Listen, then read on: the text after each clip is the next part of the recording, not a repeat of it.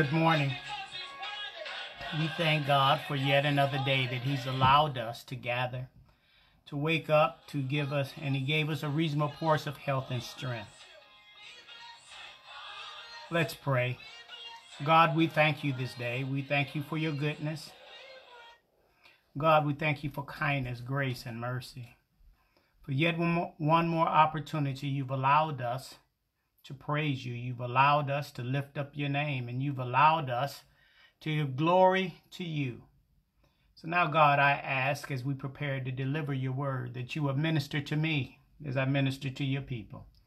God, give us a word that's going to help us today, and then give us an ear to hear what thus saith you. Because you're doing it, we say thank you. It's in your Son, Jesus' name we pray. Amen, amen, and amen. For our text today, we're going to be coming from 1 Samuel chapter 17. 1 Samuel chapter 17, starting at verse 40. And it reads accordingly And he took his staff in his hand and chose him five smooth stones out of the brook, and put them in a shepherd's bag which he had even in his scrip and his sling was in his hand, and he drew near to the Philistine. And the Philistine came on and drew near unto David, and the man that bare the shield went before him. And when the Philistine looked about and saw David, he disdained him, for he was but a youth and ruddy, and of a fair countenance. And the Philistines said unto David, Am I a dog that thou comest to me with staves? And the Philistine cursed David by his God. And the Philistine said to David, Come to me, and I will give thy flesh unto the fowls of the air and the beasts of the field. Then said David to the Philistine, Thou comest to me with a sword, and with a spear, and with a shield. But I come to thee in the name of the Lord of hosts, the God of the armies of Israel, whom thou hast defied. This day will the Lord deliver thee into mine hand, and I will smite thee and mm-hmm. take thine head from thee, and I will give the carcasses of the host of the Philistines this day unto the fowls of the air, and to the wild beasts of the earth that all the earth may know that there is a God in Israel. And all his assembly shall know that the Lord saveth not with sword and spear.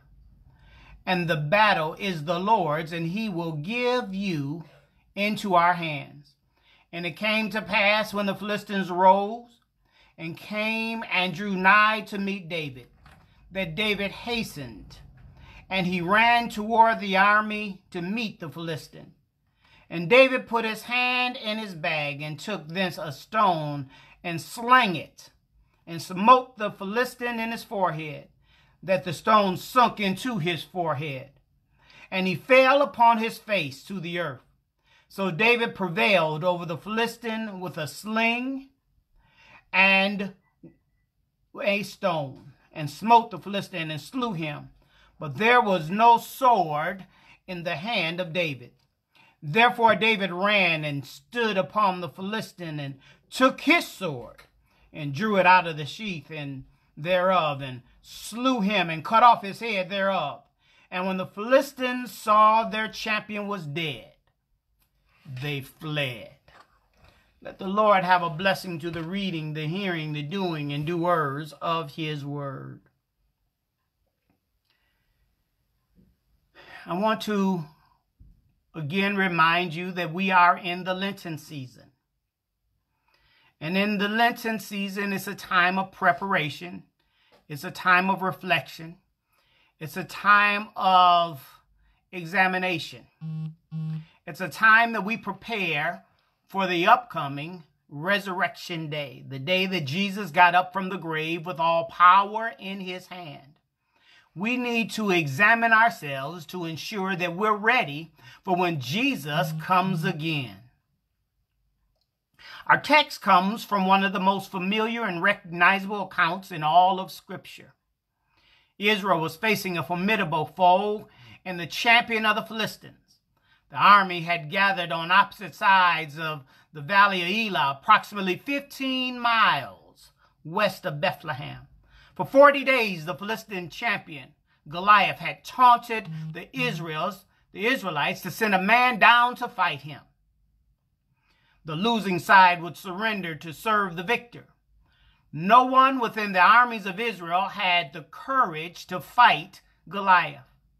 That all changed when Goliath was sent by his father to take provisions to his brother, who were among the garrison of Israelites. I want to remind you of something. God always has a ram in the bush. Regardless to what people say, regardless to what the enemy says, regardless to how he tries to attack, attack us, whether it's physically, whether it's emotionally, whether it's financially, as long as we trust God, there's a ram in the bush. This story resonates with humanity because of its story of courage and victory. It mm-hmm. reveals that the enemy can be defeated through the provision and power of God. David was an unlikely candidate to face Goliath, and yet God brought a great victory. We're no match for our enemy, but we are never forced to face him alone. Jesus has secured victory for us, and we can overcome him through him. Like David, we too can overcome the impossible odds and enjoy victory through Christ our Lord. Let's take a few moments to visit the intense moments recorded of this season in David's life as we consider the memoirs of a great, of a giant slayer. The difficulty that David faced as you examine this chapter, difficulties appear immediately. In order to fu- fully grasp the enormity of this situation, we must consider other verses. We can see apparently there's differences. This is the greatest mismatch of all time. Nobody expected David to have a chance against Goliath. There were great differences in size and in experience and in weaponry. And yet, God gave David victory. When we look at the size, the scripture says that there came a champion out of the Philistines by the name of Goliath of Gath, whose height was six cubits and a span. And when the Philistines looked about and saw David, he disdained him for he was but a youth, and a ruddy and a, with a ruddy and fair countenance. If we look at David uh, Goliath's height today, we would say that he stood about nine feet nine inches tall.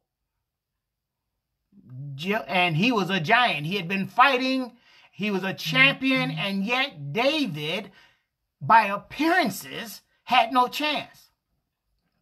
But that's why I trust God and that's why I believe God because if you've lived this world in this world for any length of time and you've served him, you've praised him, you've you've honored him, you've worshiped him, you've given him your all in all, God from time to time is going to give you a victory. Even though it seems that you cannot win, doesn't matter about the enormity of the victory or, or of the problem, God is going to give you the victory. Now, we mentioned that Goliath stood about nine feet nine inches tall, so let's round it off. He was about 10 feet tall. David, on the other hand, was just a little over six feet. That's a big difference. When we look at the experience, Saul said to David that thou art not able to go against the Philistine to fight with him, for thou art but a youth. And he's a man of war from his youth. David had no experience in battle, and Goliath had been fighting battles since he was a young man. There was no comparison in the experience level of the two men, with the exception of David had God working on his side. David had been prepared by God to be victorious. David had been an example of, and, and as a young man, he was a shepherd. Hmm. Now, during that time, they, they made the shepherd the, the runt of the litter.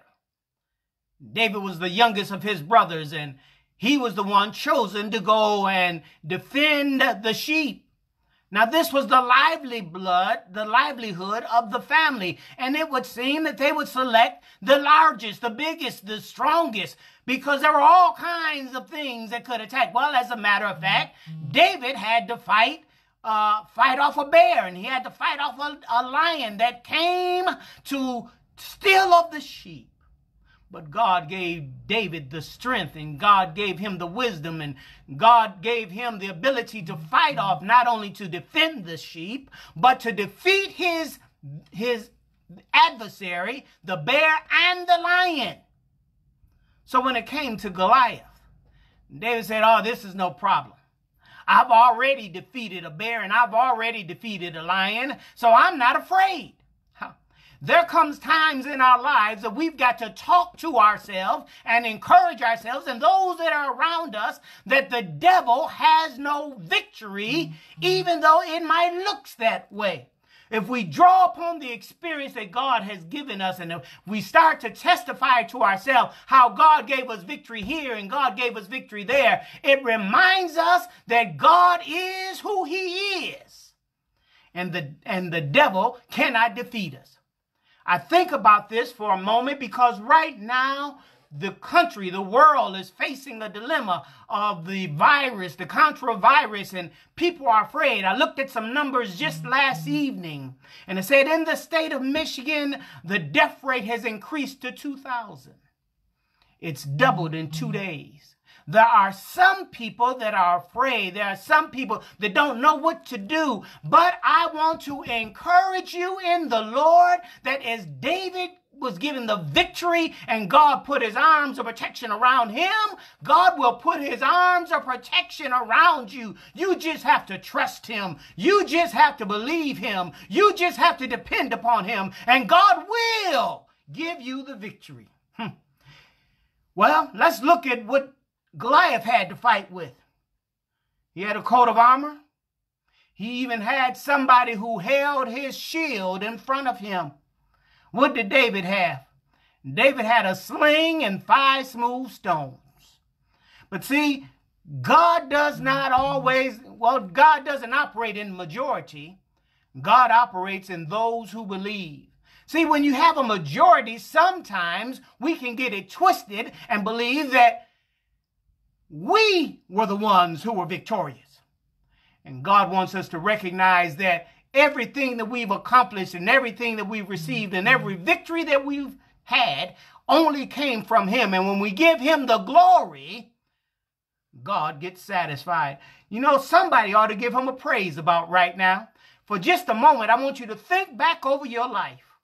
Think about where God has brought you from and think about how God has delivered you. Think about how the obstacles, whether it was a job, whether it was in your personal family, or whatever it was, God gave you the victory because you're His child. And as long as you serve and as long as you praise Him, God's going to give you the victory.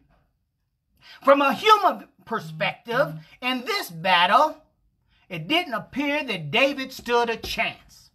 If we look at what the scientists are saying, we don't stand a chance. But I serve a God who looks high and looks low.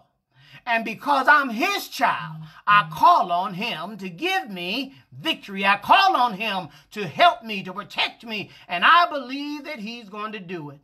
Now, we've got to understand how the enemy comes at us. The enemy comes at us the same way that Eliab came, David's oldest brother, came against him. He tried to create doubt in his mind. The devil's going to attack your mind. Why? Because the mind is the battleground of the enemy. He's going to try to do all he can to stop you, to get you to doubt, to get you to fear. But the scripture says that God has not given us the spirit of fear. We got to trust him. The world all around us and the enemy we face would have us believe that we're destined for defeat. but all I got to do is just think about the goodness of Jesus. Think about where he's brought me from. Think about how he's given me victory. Think about the time that I should have been dead. And yet, God spared my life. And I believe he spared it so that on this day, I could speak to you. I can testify to you. I can try my best to encourage you that God is still a healer, that God is still a deliverer, that God still will make a way out of no way. We just have to trust him. Yes, there was certainty that David was an underdog. But as I said earlier, God doesn't deal with majorities. If you look back over time, God always deals with the minority. Because one with God is a majority in everything. When we're trusting God, don't you know that God's going to deliver us, that God's going to bring us out, that God's going to make a way? So, right now, all I want to do is encourage us to believe, encourage us to trust God and to believe God. Don't get caught up in the fear mongering that this is going to happen and that's going to happen. No, I trust God. But I also remember what the scripture says for me to live is gain and to die is God. So if God does decide to call my name during this time of uncertainty and this time of fear, don't you know that I'm going to a better place? Don't you know that God's going to give us the victory? Don't you know that it's not over until God says it's over?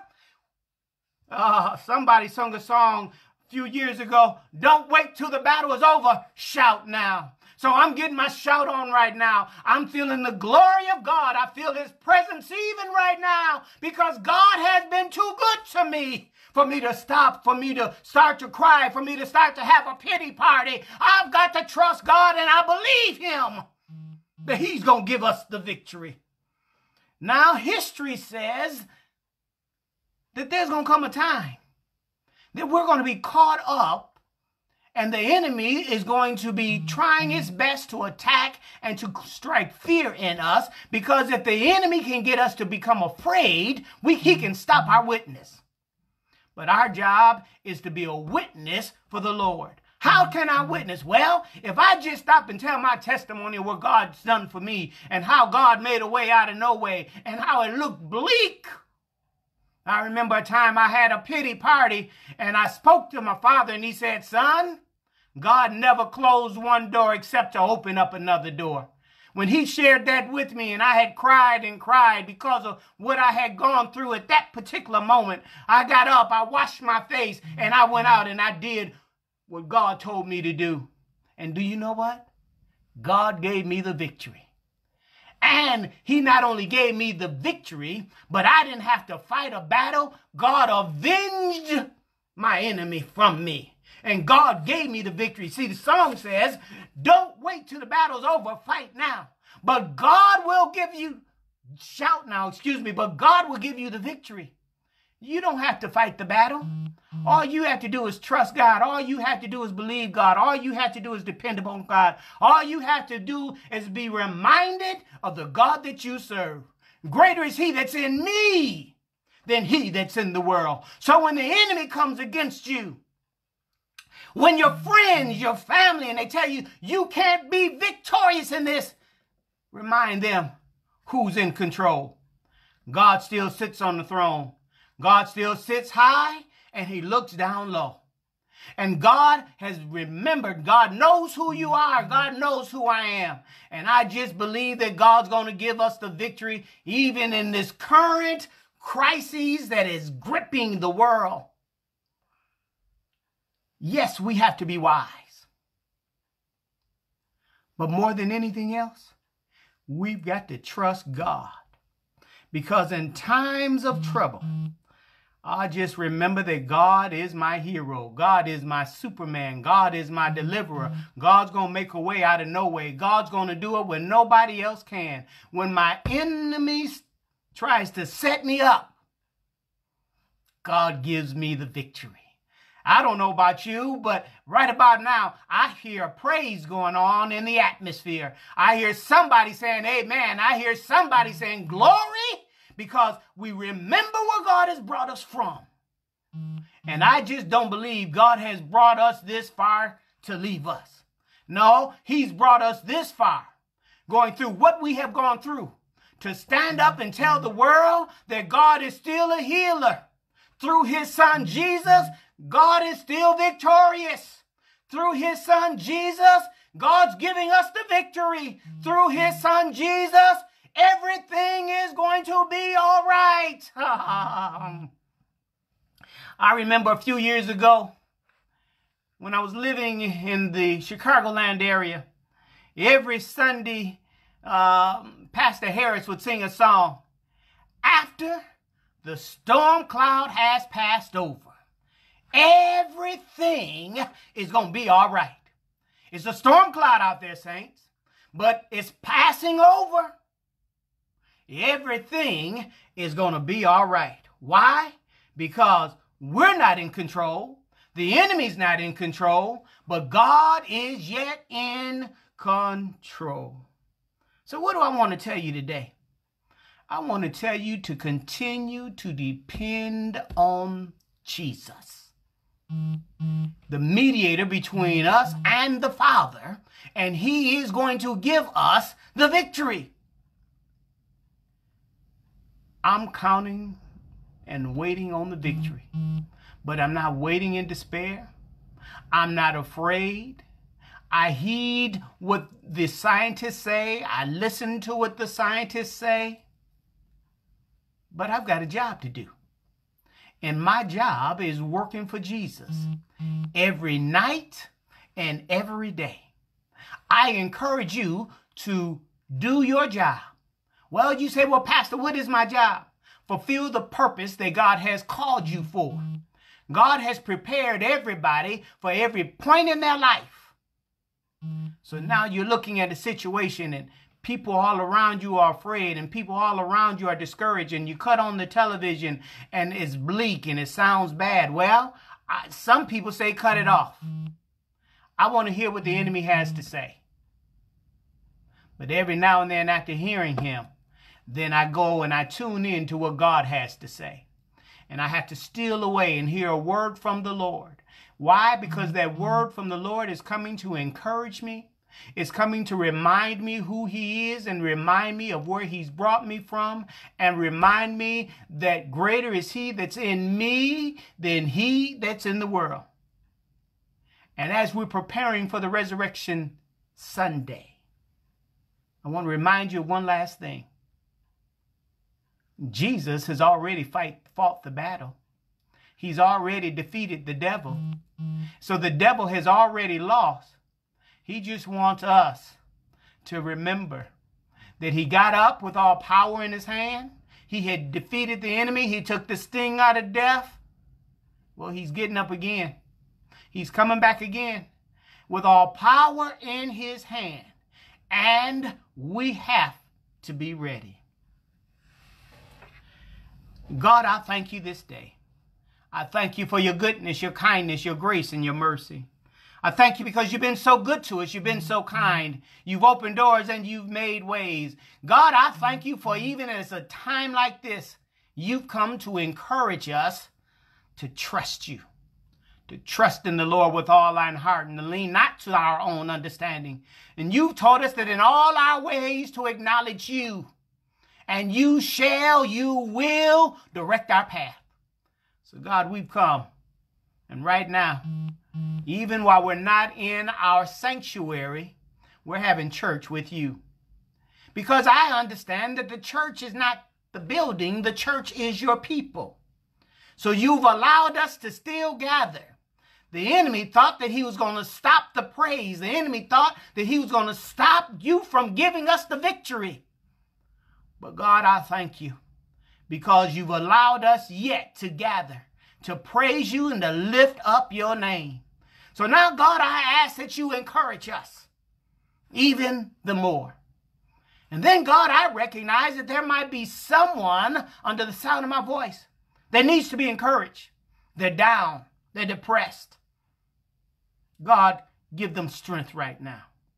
Encourage them right now.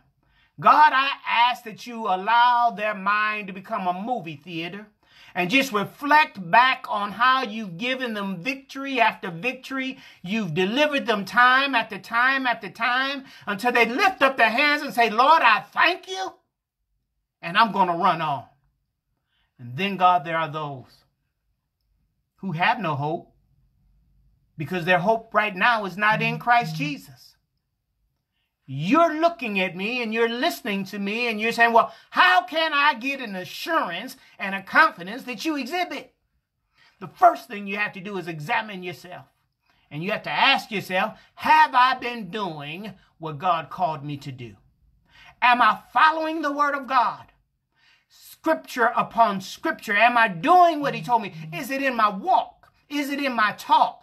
Is it my character? If I wake up in the midnight hour, will I wake up and still know that God is my Savior? If I get into a tight jam and somebody attacks me, will I still know that God is my Savior?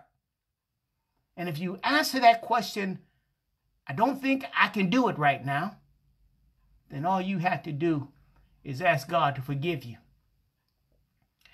That's repentance ask God to forgive you of not trusting Him enough to do what He has called you to do. And after you've done that, God's going to take that repentance. He's going to throw into the sea of forgetfulness. And he, he, unlike man, he will never bring it up to you again. But I encourage you at that point just to praise him and to get into your word and start to study your word in times like this, we need to know what God has spoken to his people. So study your word. Review and look at the internet. Take off the junk and put on the word. Listen to somebody that's teaching the word of God. But be careful because the devil comes to kill, to steal, and to destroy. And he's going to come as a lion in sheep's clothing. And he's going to try to persuade you that you don't have to do this and you don't have to do that. But I've learned when I'm trusting God, I've got to do everything He told me to do, everything I've heard that I need to do, everything the scripture says, and then I've got to trust Him some more and try to do more. And when I do that, God's going to give me the victory.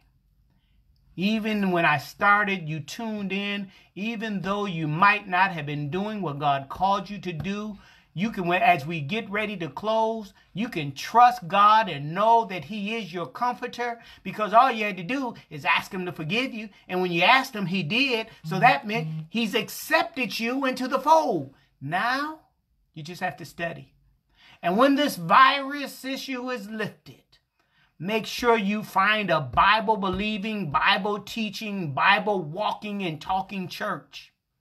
Somebody that can encourage you and somebody that can nurture you and somebody that can teach you what the Word of God says. Why? So that you can go stronger in His Word. And as you go stronger, then you're going to go out and you're going to witness to somebody and you're going to testify to somebody and you're going to tell them what God has done for you and God, in turn, will give you the victory. Now, God, I thank you for what you've done. I thank you for what you're doing. And I say thank you. It's in your Son, Jesus' name we pray. Amen. Now, for those of you that are listening, you are probably aware that We're no longer in our church facilities right now, but we still have expenses. We still have to heat it, still have to have the utilities running. And so I'm going to ask you whether you're a member of Mount Zion or you have another church that you're attending, don't stop supporting your local church. If you want to give to Mount Zion, there's a couple ways. You can operate, we, we receive electronically through Givelify, and that's G I V E L I F Y. You can get it online if you don't have it. Just download givelify.com and then look for the Mount Zion Church of God in Christ at 188 West Muskegon, Muskegon, Michigan. And you can make a contribution to Mount Zion. For those who are tithers, you can pay your tithe, you can give your tithe even over the internet so that God's work can mm-hmm. still be done, his kingdom can still be built, and that's just another blow at the enemy. He thought that he all the churches were going to close down and he was going to run ravage. The devil is a lie. I'm trusting God and I'm believing God. If you're under the sound of my voice and there's another church that you are a member of, support your church.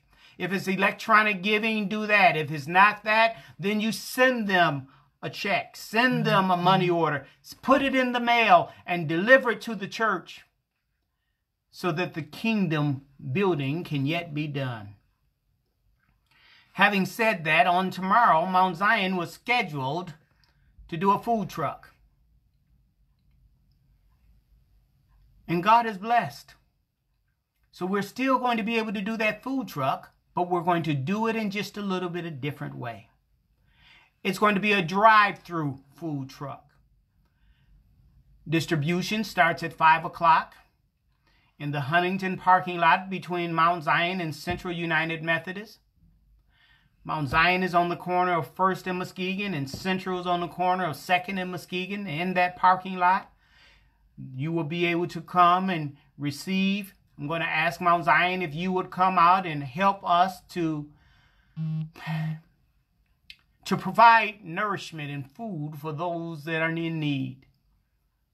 The scripture says in Matthew, I believe it's chapter 25, when they were hungry, when they're hungry, it's the church's responsibility to feed them.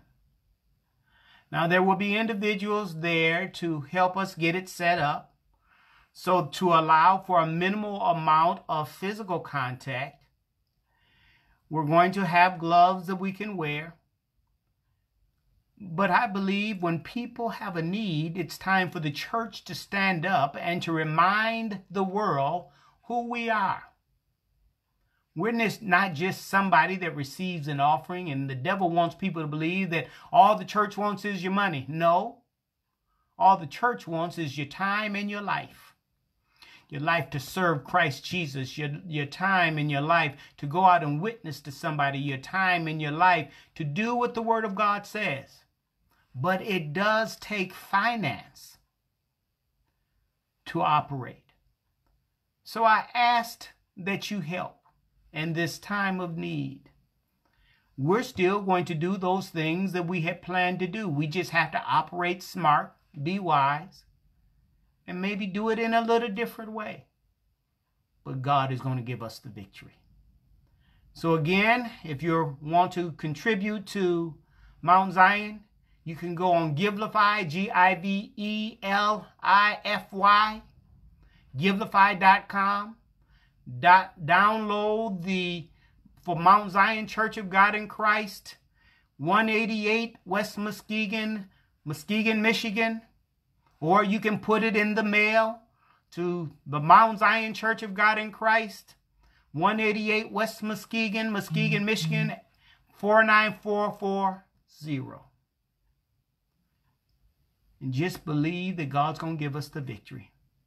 I thank you for the time that you have been with us today. I thank you for allowing me to share. And my prayer is that God is going to encourage and has encouraged you to hold on, to be strong, to be vigilant in your walk, in your talk, in your faith, knowing that God is a healer and a deliverer. And in times such as this, God is going to bring us through. Good day. Well, let's pray a blessing. God, we thank you this day. I thank you for your goodness, your kindness. I thank you for your grace and your mercy. I thank you for one more time allowing us to minister and one more time allowing us to hear what thus saith you. Now, God, I asked that you help us, that you encourage us even right now in spite of the situation, in spite of what going going through, in spite of what we're going through, in spite of what's happening at home, at home, in addition to, in spite of what's happening on our job, in addition to the virus. God, strengthen us, encourage us. And because you're doing it, we say thank you. God, we thank you for everything that you've done, and I thank you for continuing to put your arms of protection around us. And because you're doing it, we say thank you and thank you and thank you and thank you. Amen. Amen and amen. You be blessed. Trust God. Depend upon Him. And He's going to bring all of us through this situation. Goodbye.